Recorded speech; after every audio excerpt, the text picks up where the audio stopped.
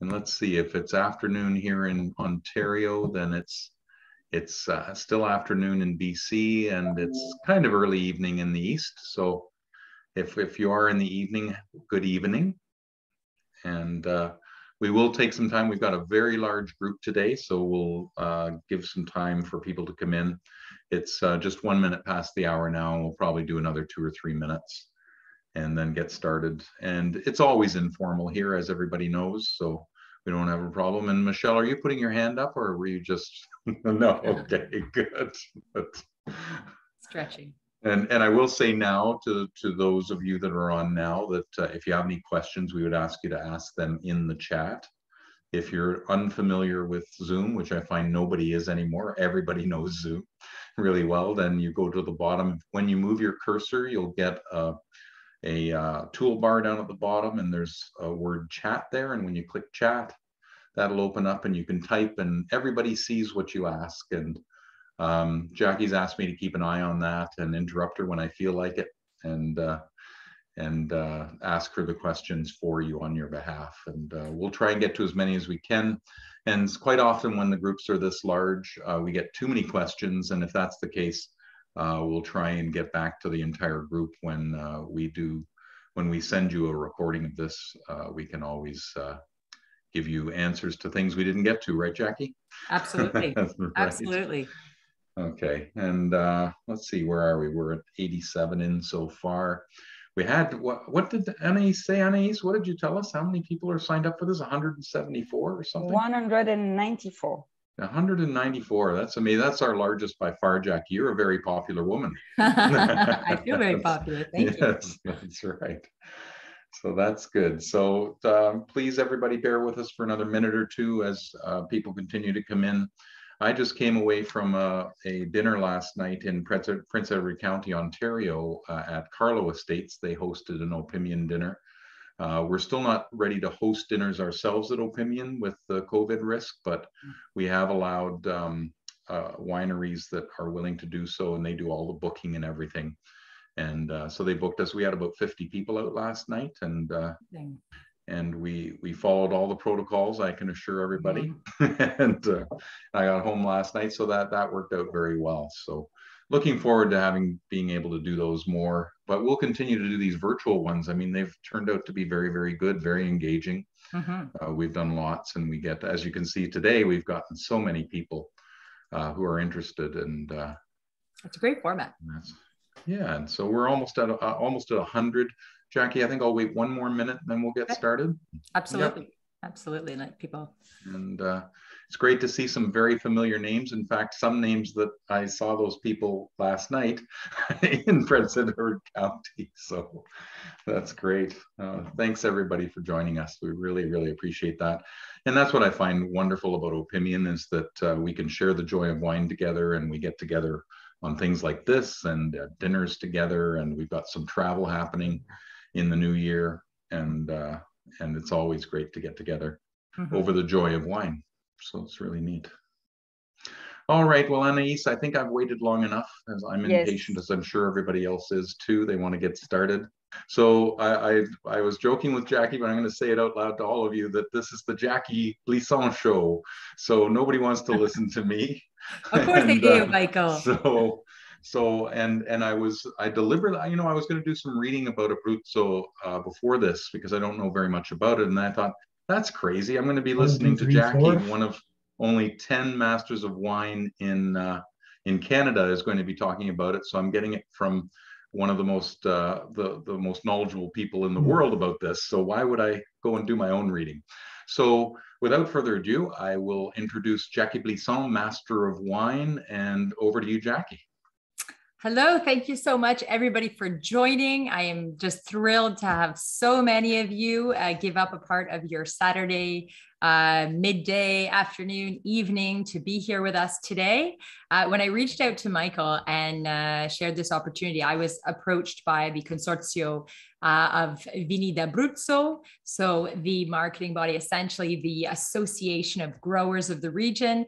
And they said, hey, we'd love to do some educational events all around Canada about our wines, about our region. And uh, I reached out to Michael and he said, yeah, I think my members would love that. And you have a lovely Montepulciano d'Abruzzo in your range. Uh, so we thought this would just tie in really nicely. So, as Michael said, we're going to keep this super informal. Um, we're going to talk about the wines, the food, the culture of Abruzzo. I'm going to share a little bit of a little presentation, but it's mostly going to be pictures, a small video. As you said, Saturday afternoon. I'm not going to tax anybody's brain too much on this. Um, we're going to ask for questions in the chat. And if you are not talking, if you could just mute your mic and just make it easier for everybody else to hear. So Barry. And, and if you don't mute your mic, then Anais is going to mute you from Montreal. So uh-huh, uh-oh. that's uh-oh. right. One second here while I put that full screen. So just a couple of words, first of all, from Abruzzo, from the sponsor. Uh, all of these wonderful wine regions around Europe uh, are looking obviously to sell their wines locally, but also to sell their wines abroad. And you know, it's it is difficult to be able to travel, especially at the moment, um, and to be able to really share the gospel about their fine wines. And they enjoy uh, subsidies from the European Union to allow them to have the budget to do these kinds of activities.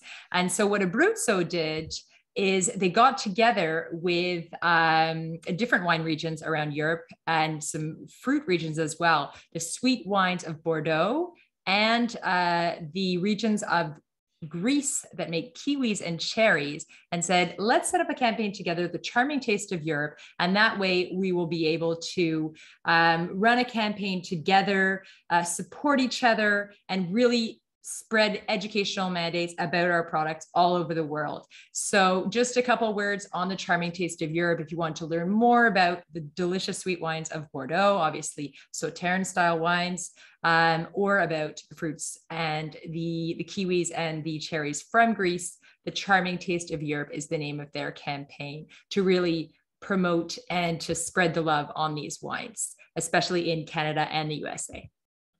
So we're going to dive right into it.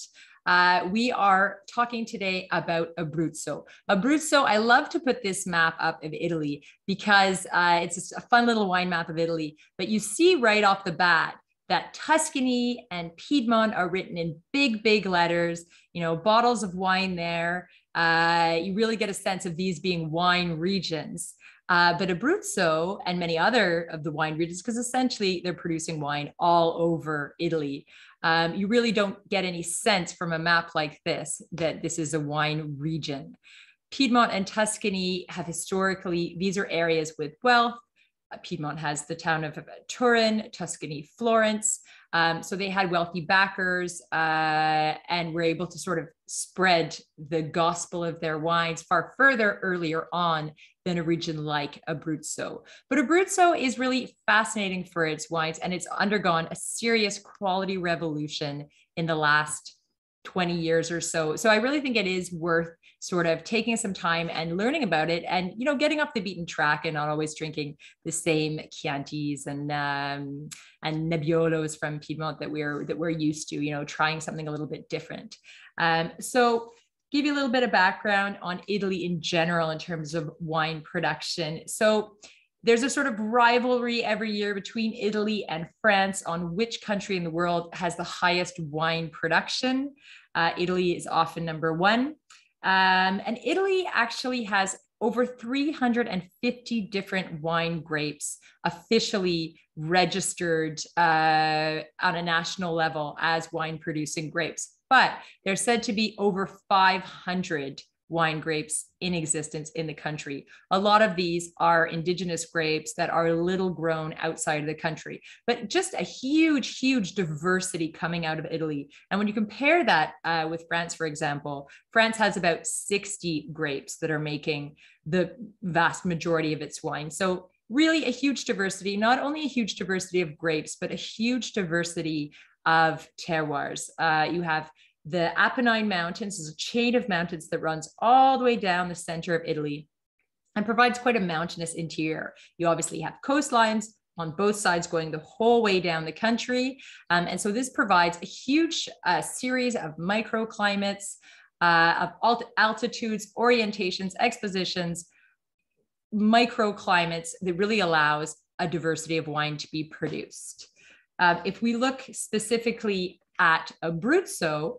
This is an Italian region that's about 100 kilometers east of Rome. So you land in Rome, uh, and it's about a two hour drive, but it's extremely, extremely mountainous. This is potentially one of the reasons that it's lesser known. It's really historically wasn't that accessible because of this mountain. It's about 65% of the landmass of Abruzzo is mountains. Here, the Apennines, which I said are this mountain chain that's sort of the spinal column of Italy. Here, uh, we're at the highest peak of the Apennines.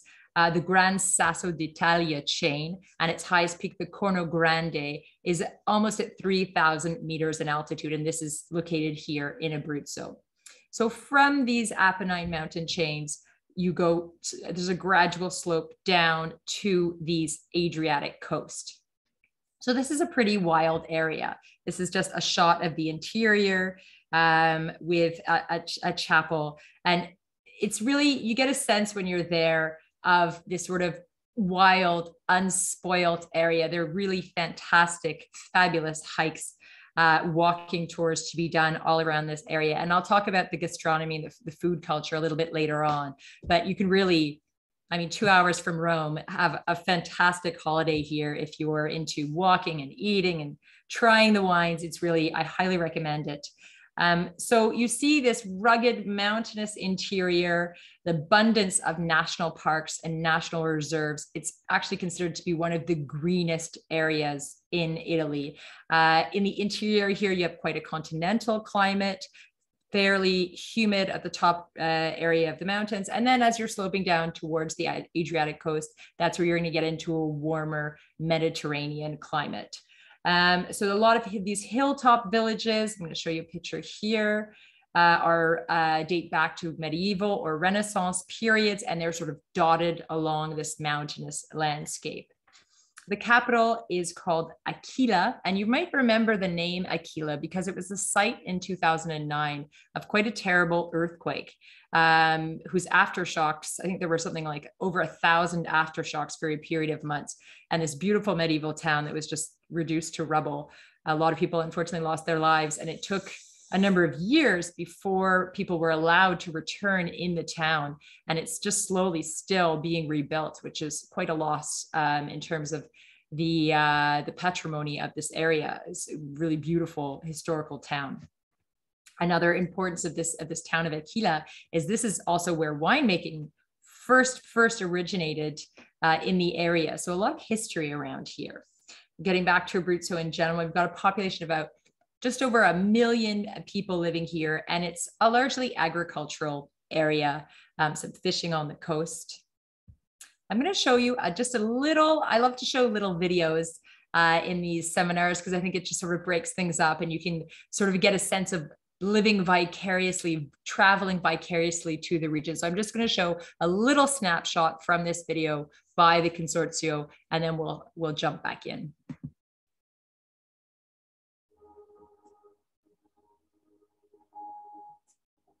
2,000 years ago, in the heart of Peligna Valley in Abruzzo, members of the Italic League made Corfinium the first Italian capital. At that time, the Roman poet Ovid already wrote about the fertility of the land and its vocation for vine cultivation. Over the centuries, the cultivation of native Abruzzo vines has spread from the Peligna Valley to the hills regions close to the coast, which present ideal conditions to produce fine grapes, which then are carefully transformed into great wines. Abruzzo region has a natural vocation for the cultivation of vines. The presence of the Gran Sasso and Maiella mountains, a short distance from the Adriatic Sea, generate strong temperature variations between day and night that combine with good ventilation provide an ideal microclimate to produce grapes of extraordinary quality. Vineyards are trained on traditional trellis systems called Tendoni Abruzzese, which is typical of the region, as well as on vertical trellis systems. In 1968, Montepulciano d'Abruzzo wine was recognized with a controlled designation of origin. Vineyards in Abruzzo cover approximately 32,000 hectares of land, with an average annual production of about 3.5 million wine hectoliters. The most widespread varieties are Montepulciano, cultivated on 17,000 hectares, and Trebbiano, cultivated on over 12,000 hectares of land. Other indigenous vine varieties, such as Pecorino, Passarina, Cococciola, and Montonico, have increasingly become popular in the market. Germans, while the Montepulciano d'Abruzzo, which accounts for more than half of regional production and is now universally recognized as one of the great Italian reds. Also much appreciated is its rosé interpretation, the Cerasuolo d'Abruzzo. Noteworthy among the whites are Trebbiano d'Abruzzo, which yields both pleasant young wines wines of extraordinary longevity. The Pecorino, a high quality wine with enhanced fruit and bouquet. And finally, the Passarina, Cococciola, and Montonico, still wines that complete the Abruzzo family of great wines. The Consortium for the Protection of Wines of Abruzzo is a voluntary nonprofit association whose members are wine growers, wine makers, and authorized bottlers. There are currently eight typical geographical indications, eight controlled designations of origin, and a controlled and guaranteed designation of origin to certify the quality of Abruzzo wines. The supervision of the consortium is performed at both the technical level to verify the producer's compliance with regulations and at the administrative level to ensure the protection of labels from plagiarism, unfair competition, piracy, and other offenses. It is a system of protection and development that guarantees the quality of Abruzzo wines for the consumer.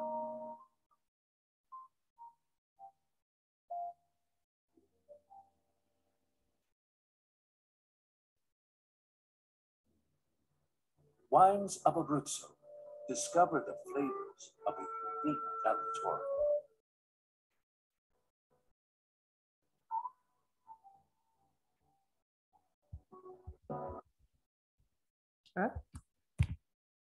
Just get to the next slide. So that just gives you an overview. I love to show those kind of videos. Uh, obviously, there's a, a commercial side at the end, but it just gives you a sense of seeing it for yourself, the region, those mountain tops that I was uh, referring to. Here we are.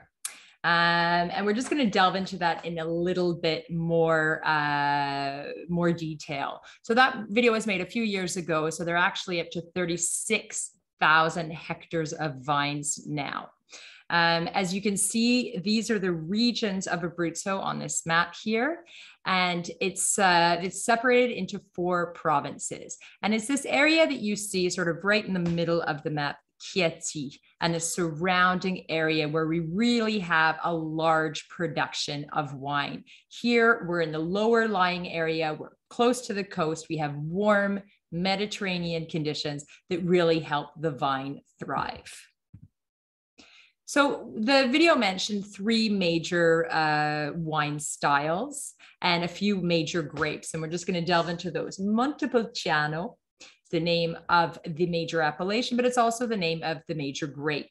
This is a red grape variety that's native to the area, and roughly half of all the plantings, 17,000 hectares of 36,000, are of Montepulciano. And this is a really ancient grape variety in Italy. It's the fifth most planted red grape. And for a long time, it was confused with Sangiovese. And it was only when they did DNA profiling that they really determined that Montepulciano was its own grape. Some might confuse it. In Tuscany, there is a town called Montepulciano uh, and a wine called Vino Nobile de Montepulciano, but that is actually made with Sangiovese. It is a completely different wine. It's a bit confusing, but has nothing to do with Abruzzo and with this grape variety, which is Montepulciano. So this grape really needs a warm climate. It needs a long growing season to fully ripen. It's a thick, thick skinned grape, and the pigments, as you know, are found in the grape skin. And thicker skinned grapes like this one tend to give quite deep colored wines. So Montepulciano is deeply colored. It's got lovely, earthy, peppery, quite savory, gamey notes to it, as well as uh, some very ripe dark fruit. And uh, it's very uh, sort of a easy drinking red, I would say, on the palate because it's fresh without being bitingly acidic. It's medium bodied for the most part, uh, and it's got moderate tannins. Depending on the site, there's some higher uh, in Pescara and Teramo, which are regions a little bit further north on the coast that are a little higher in altitude. There are some plantings that make much fuller bodied styles of Montepulciano that are longer lived and really age worthy. But for the most part, it tends to be a more medium bodied, really approachable wine. And it's really a great uh, quaffing wine, really great to enjoy with a pizza, for example. And in Abruzzo, it is famously paired with the local lamb, which is a real delicacy there, as well as a lot of the cured meats that they make.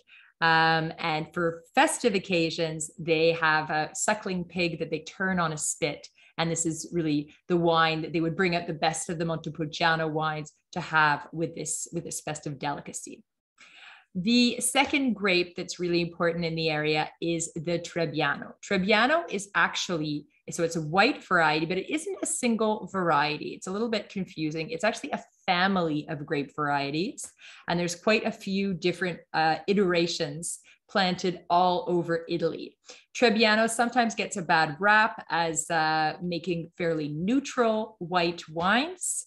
Uh, but the version that the variant of the grape that exists in Abruzzo, which is called Trebbiano d'Abruzzo, is really considered by a lot of Italian wine experts to be the best expression of Trebbiano. Slightly more intense in terms of its aromatic, a lot of stone fruit in warmer climates, verging on peachy type notes.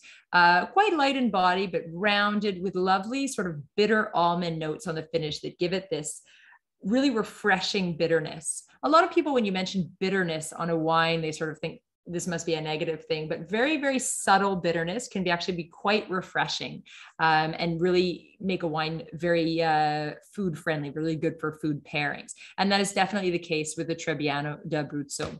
It's generally, as I said, produced in quite an easy drinking style. It's, you know, quaffed at the trattorias by, by the side of uh, the Adriatic coast with lovely fish dishes and salads. But there are also producers who are really starting to make some quite serious, age worthy Trebbianos, much lower yields, making much more concentrated wines. And um, Edoardo Valentini, for example, is a producer who's really shown he has a cult Trebbiano d'Abruzzo, which I think retails for something like $500 or more. But he's really shown with the Trebbiano that you can make uh, a wooded style that is really age worthy and long lived. And I think his wines, you can keep them for 15, 20 years or more, and they really have quite a serious following. So a grape that can go from an everyday white to quite a serious white as well. There's also a second white grape that isn't as highly planted. So the Montepulciano, as I said, over half the plantings, the Trebbiano almost 40%. So those two grapes alone really cover the vast majority of the territory here. But there's a few other indigenous grapes that are starting to gain in popularity. And one of the major ones is Pecorino. So, not to be confused with the cheese of the same name, which also comes from the region, Pecorino as a grape was actually named after um, the shepherds that would eat the grapes. The word for sheep in Italian in the region is pecora. And uh, apparently, they were such flavorful, juicy grapes that the shepherds, while minding their flocks uh, near the vineyards, would eat vast quantities of them, and they called the grape pecorino. So, this is a white variety. Uh, and it really makes lovely, racy, crisp white wines that have surprising body and richness and texture to them. It's made in the regions north of Abruzzo, the Marche, as well as Abruzzo and to the south Molise, and is really starting to gain a lot of traction as sort of a the next big thing in terms of Italian white grapes, Pecorino. So that's sort of a, a rising star in Abruzzo. So when you think about the appellations, and this is something that in France, uh, they use the term AOC, in uh, Spain, DO or DOC. Here in Italy, we talk about DOCs, denominations of origin, which are controlled, and DOCG. So this is the top tier in the pyramid. pyramid. These are sort of singled out in all the different regions of Italy as being the very best of the appellation wines. So in Abruzzo, there are two of these DOCGs, but very, very small production. We don't tend to see as many of them leaving the country. Uh, the most popular, the main appellation wine in Abruzzo is Montepulciano d'Abruzzo. Very easy as it sounds. It is the Montepulciano grape of Abruzzo, and it can be made pretty much throughout the region of uh, the four different provinces of Abruzzo, but obviously a large production, as I said, around this southern coastal area of Chieti. You can see on this picture here, you got vines that are just going down the slopes gently, looking out over the Adriatic Sea. So a pretty stunning location to be making these wines. So these Montepulciano d'Abruzzo wines, as I said, they are really um, savory, but at the same time fruity with little uh, spicy or peppery notes to them, and really quite uh, approachable on the palate due to this moderate acidity, medium body, and moderate tannins. There's nothing aggressive or, or overwhelming on these wines. They tend to be made uh, uh, unoaked or in large neutral vessels called botti or foudre in France. Uh, and they tend to use Slavonian oak. So you often hear about French oak, American oak. Um, this is actually not to be con- confused with Slovenia. Slavonian oak is oak that is sourced from an area of Croatia. And it's very popular, it's traditional in Italy to use this oak. And it doesn't actually impart a whole lot of flavor or aroma to the wine. It really is used just to round out the wines and make them a little bit more supple, round out their tannins uh, and soften them a little bit. So traditionally, as I said, either unoaked or using these neutral vessels to make these wines. And there's also within Montepulciano d'Abruzzo a reserva level. And at this reserva level, this is where there's an obligation to oak age. Two years before you can uh, sell the wine. And in those two years, there has to be at least nine months in oak. So the reserva tier tends to be the more age worthy, fuller bodied, more structured style of Montepulciano. If you're looking for more premium Montepulciano, you would get the reserva.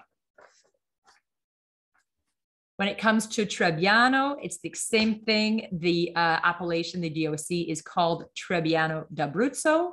And here again, uh, you have your basic tier, which tends to be fermented in stainless steel, very short aging period. And you're really just looking to make a, a crisp, light, smooth wine that's for everyday quaffing. But as I mentioned, there are some producers out there who are really showing that this can be an age worthy, structured, serious wine. And so here we have two upper tiers. We have a superiore tier, which has to be aged for two or three months longer, but there's no obligation to oak age it in any way. And then there's also a reserva here as well. And that's aged for at least six months. And there generally is a little bit of oak aging involved. Uh, and finally, the style that they mentioned in the video that we haven't discussed yet is called Cerasuolo d'Abruzzo. And this is made with a Montepulciano grape, but into a rosé style instead of a red, a dry rosé, which in Italy is called rosato. And uh, I was pouring this wine for an Abruzzo event that I did a, uh, earlier in the week. And it's quite a deep colored rosé. As I mentioned, Montepulciano is a grape that has quite thick skins. It's a heavily pigmented grape.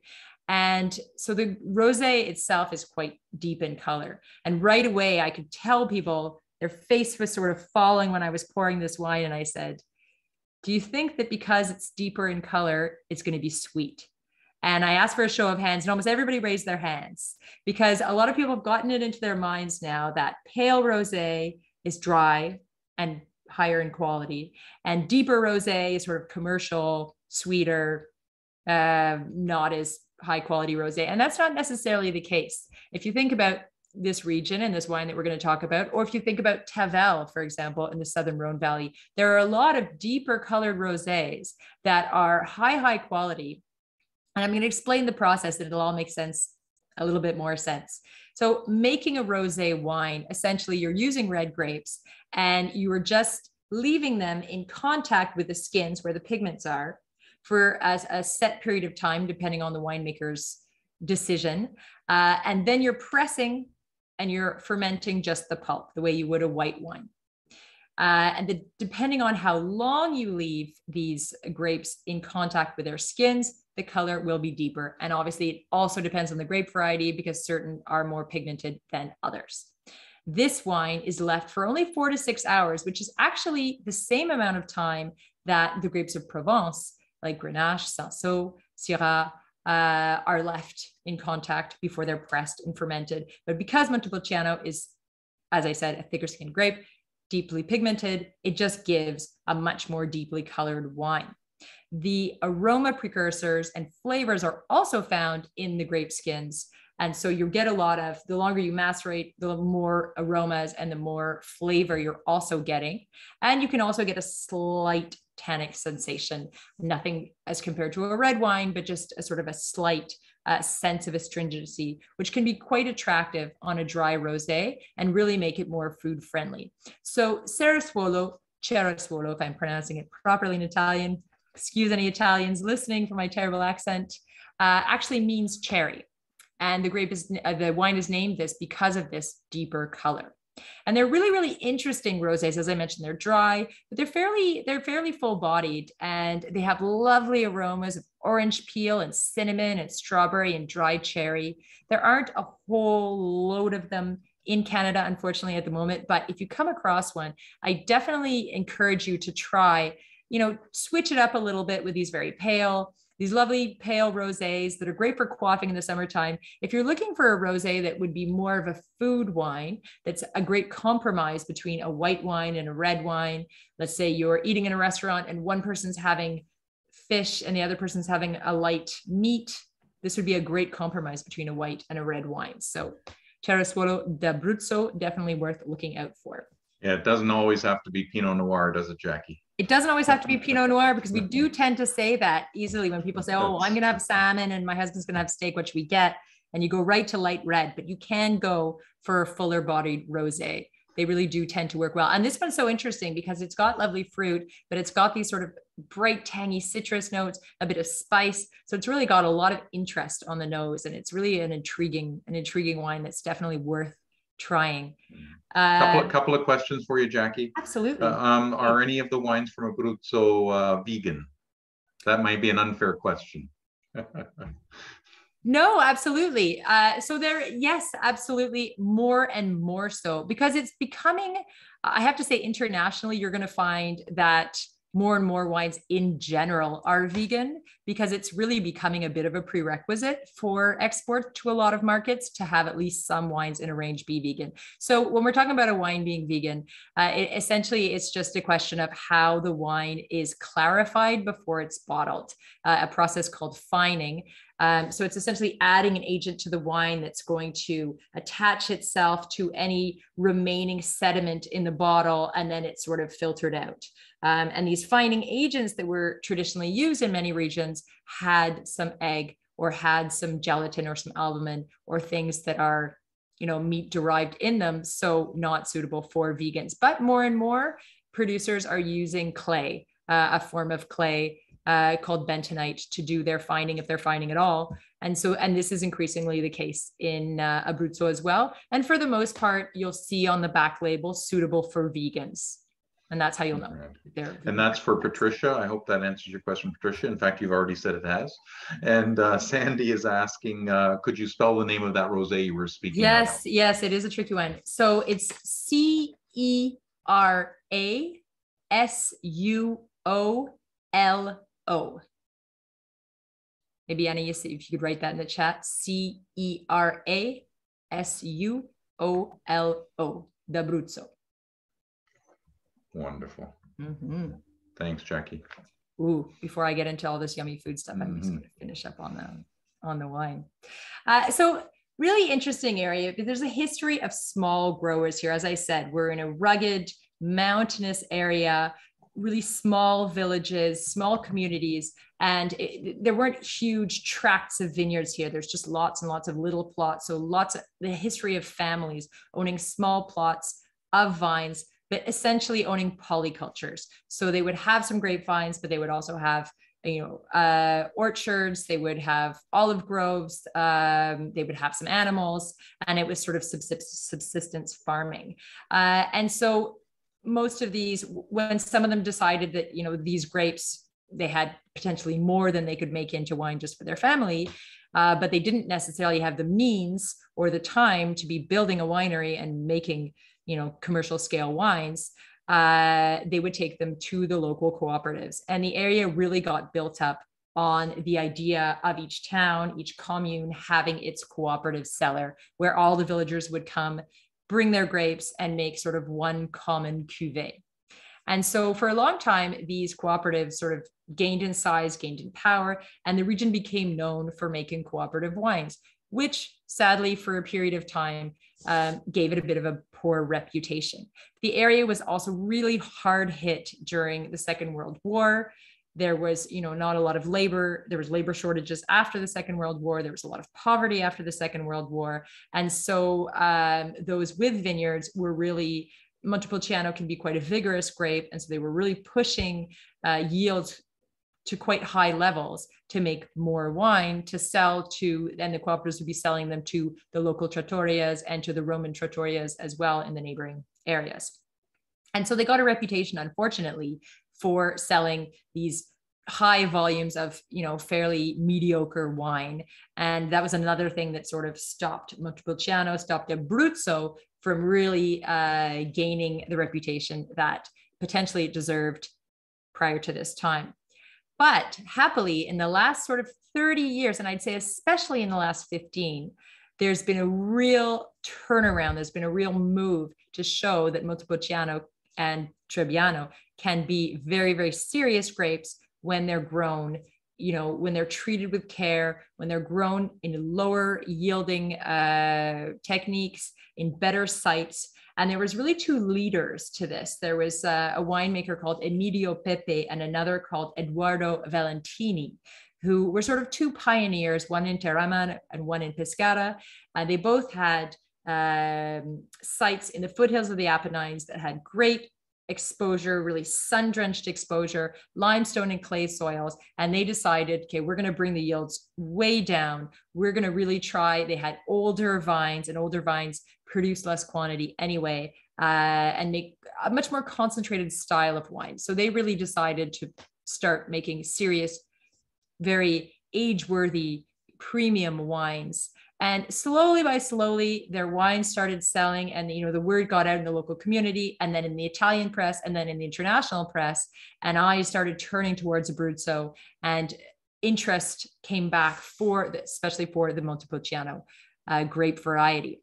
And this sort of uh, phenomenon trickled down first to other family growers who decided to start you know bottling their own wines and really aiming higher aspiring to making these more qualitative wines and also to the cooperatives who in the last 20 years have become far more dynamic. There's far less yes they still make everyday wines that are great quaffing wines but even at the everyday level they're really really trying to show that they're making good really rounded, approachable, fruity, pleasing wines, and then also aiming to have a mid tier and a higher tier of more age worthy structured wines as well. The happy thing for us as consumers is that the prices have not caught up with this quality revolution yet. And so there really remain very affordable wines from Italy. Um, you can find a lot of these uh, whites and roses and reds in the sort of 15 to $30 range. Uh, you have lovely, really lovely quaffing wines. And then the top tier wines, there's only one or two producers whose wines are sort of over a hundred dollars, uh, cult wines, as I said. But for, for the most part, you can get even some pretty age-worthy, pretty spectacular wines that 10 years later you take out of your cellar and you are more than happy to drink, you know, at the at the 30 to 50 dollar range. So huge, huge value still coming out of Abruzzo uh, from Montepulciano from Trebbiano and increasingly from the Pecorino grape. So we're going to also talk a little bit about the food because I love talking about food as much as I love talking about wine. And then food and wine pairing, of course. It's always like nice to know what kind of meals go best with these wines. And obviously, the easiest and the most logical pairings for any wines are the foods of the region. So this is really, I mean, there is an abundance of amazing uh, foods uh, being made here. Huge, huge, huge diversity all over from the mountainous areas to the coastline, from the continental climate to this Mediterranean climate. Uh, huge diversity in soils as well, from very fertile areas to more rocky areas. So it really supports a wide diversity of different agriculture. Olive oil, as in much of Italy, is uh, a huge, uh, a hugely important product here. And there's actually three different protected origins for olive oil within Abruzzo. Lentils as well, lentils, uh, especially in a mountainous area called Santo Stefano di Sessanio.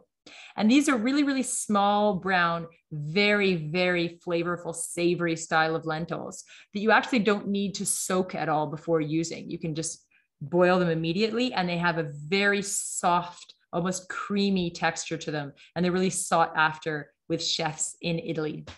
And up on the top left there, you see saffron. And the saffron of the area is also uh, hugely sought after. Uh, and it has apparently really, really quite a fragrant style of saffron.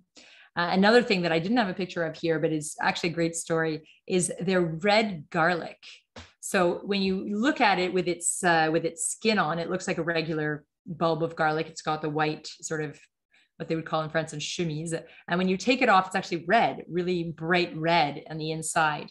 And this uh, red garlic from Sulmona in the southern part of Abruzzo is actually sought after not only for its taste, chefs coming because it's got quite a delicate taste and apparently no bitterness whatsoever, but also for its curative properties. So I don't know if any of you out there have ever used garlic in a remedy with sort of lemon and hot water and things like that against a cold. But garlic actually has a lot of uh, antibiotic properties.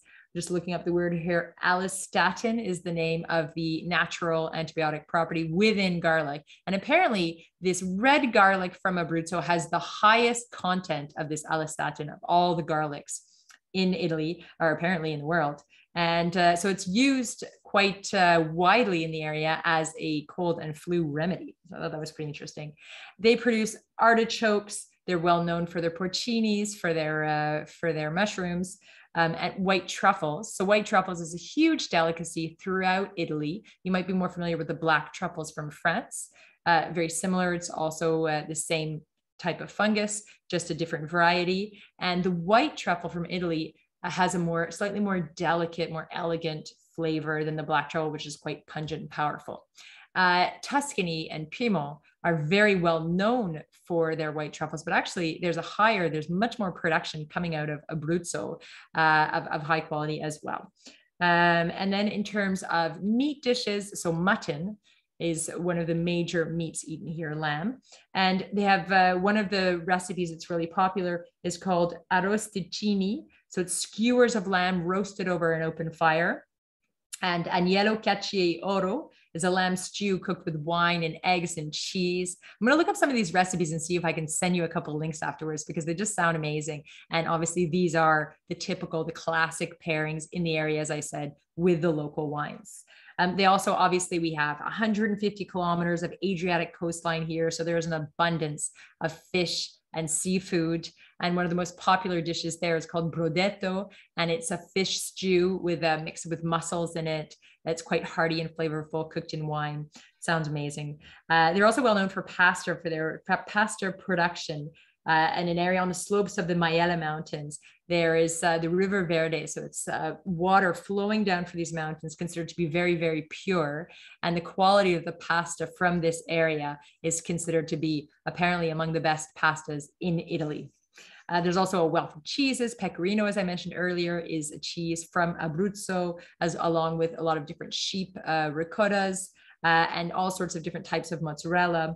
And then they're also known for their desserts, especially sugared almonds and a nougat called torrone. So really a wealth. This is an amazing place to go and eat. And as I mentioned, it's only a two hour drive. It's 100 kilometers from Rome, obviously the largest, most important airport in um, in Italy, and just fabulous walking to be done. Walking from beautiful medieval village to beautiful medieval village, while sampling all of these delicious foods, drinking the wines.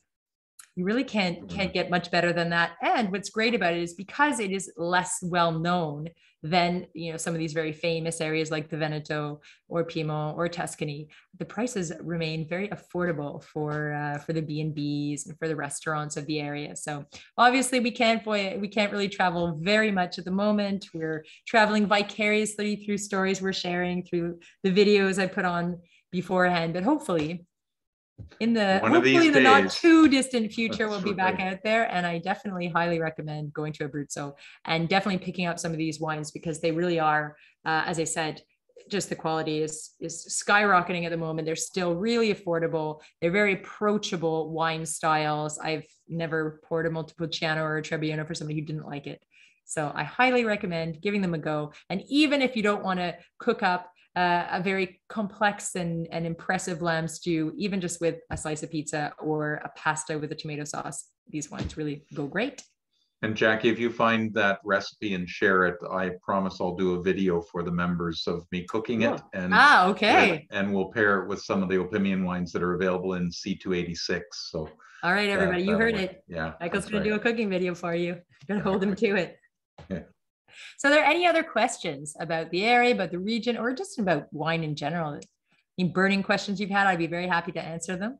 If you've been there, Jacky, Paul is asking if there's a town that you'd recommend staying in if you're going to experience the whole region.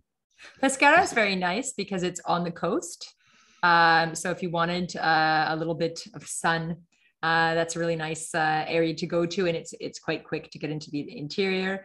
Aquila, as I mentioned, was very lovely, but infrastructure is still a bit complicated. I mean, the earthquake was back in 2009, but it's it's still uh, improving, but still a bit complex. And then around Chieti is quite nice as well. The whole Colli Chietini area is very, very nice. But and then Michelle has has asked about uh, good things about. I'm not. I'm not going to. I'm going to butcher this, Michelle. Chocolate can you read that, uh, Jacky? Oh, you know what? The, in, I'm going to stop you, sharing the screen yeah, that we can but, see everybody, and then I can read the chat because I can see it, but I will look down. Uh, and I think this is Michelle telling Paul this is where he should stay. Yes. Oh no. So uh, Cococciola uh, is is another one of the the white grape varieties, but it's very very there's very very little to be had. It is a very very nice grape. It does have a lovely fragrance and a lovely smooth body to it, but it's it's very hard to unfortunately come by um, here in in Canada. Most of it, as I said, yeah, tough to get in Canada. Most of it is drunk locally. Mm-hmm.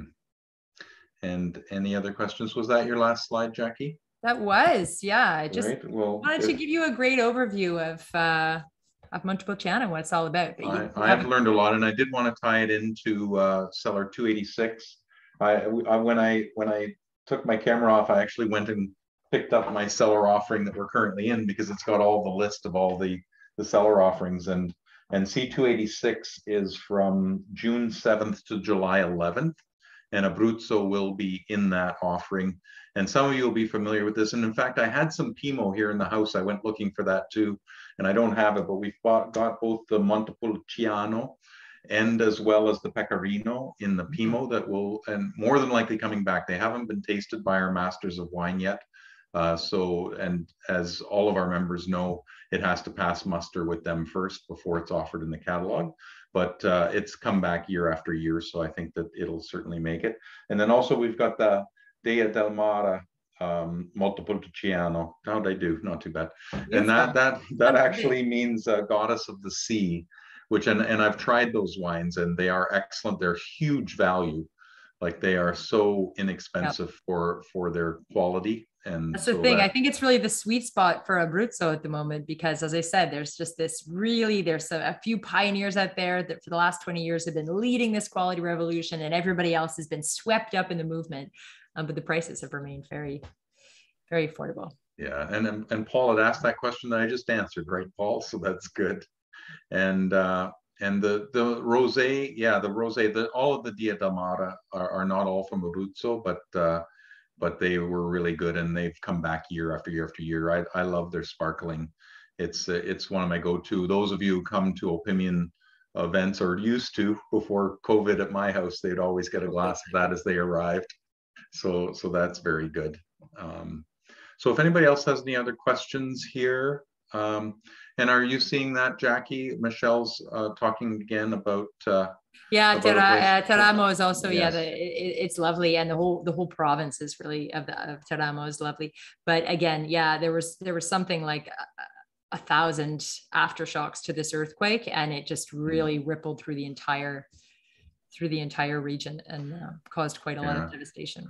Well, An- Anais and I are working really hard on a, a French trip for the spring in May. And then we, we plan to do Italy in the fall. Again, this is all depending on what COVID decides to do. Well, now you know uh, where to go in, in well, Italy. And you know what? We, we do these virtual tastings and, and whenever we do that, uh, Anais and I say, oh, we should go there. Oh, we should go there. So, and I think we'd have to do like four weeks of Italy if we're going to get it all in, right? So, so, and, and we'll, we'll do something. And, and this certainly does make this look very attractive. So we'll have Oh, to really do is. that. Yeah. It really is. Take your take your hiking boots.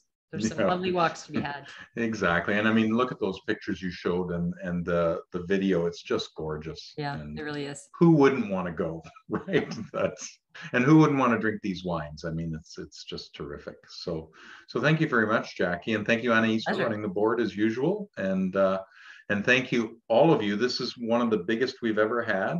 Um, and it's so wonderful, as I say, for us to get together as a group and, and, uh, share the joy of wine and, and to share, oh, the draw. Thank you, Anais. I just got it. I was about to mention if she didn't. Yes, that's right. So, so you had to have been here to win. So you, I think we were, we topped out at about 104 screens. And so you've got a one in a, no, a three in 104 chance of winning a $100 uh, wine credit that you can use during 286 to buy one of the Abruzzo wines. So, uh, so stay tuned. We're going to draw that on Monday and we'll do it fairly, we promise. We, we found a, a program online that, that uh, chooses the winner. So uh, those three people will be informed next week uh, of having won that, and we'll get that wine credit out to you. And that is uh, thanks to to your partners, Jacky. At the uh, for- Consorzio for di Vini providing that. d'Abruzzo. Mhm. Exactly. So thank you to them for for having provided uh, that that to us, and and it's it's just another way that uh, that we can do these these things and and enjoy.